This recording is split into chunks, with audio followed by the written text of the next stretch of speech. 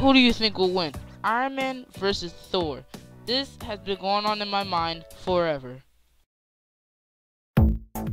Tony Stark, a billionaire that is an expert engineer, suffered a bad chest injury while kidnapping which made his captors try to make him build a weapon.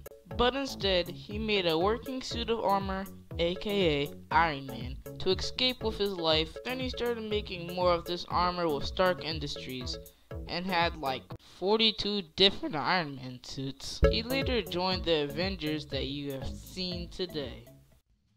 Iron Man has armor that is so-called powered fictional exoskeleton that has given him the abilities to raise strength, the abilities to fly, have the enemy's radar, repulsors of the hands, and my favorite, the Unity Beam, or Unity Beam, however you pronounce it.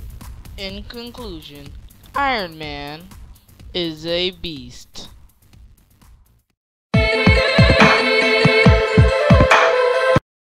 Thor on Earth, he is considered a god and has come from a different world. Thor grew a beard to show from the scars on his chin. Thor got banned from Odin and into Earth, stripped of his powers, basically at the fault of Loki.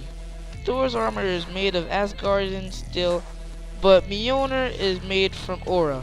Thor's abilities is like the ability to fly, holding a flippin' heavy hammer, and his most known ability to summon lightning out of the sky. Now that the scores are set, who do you think will win? And don't forget to subscribe, like, and all that jazz. And by the way, Iron Man would totally kick Thor's.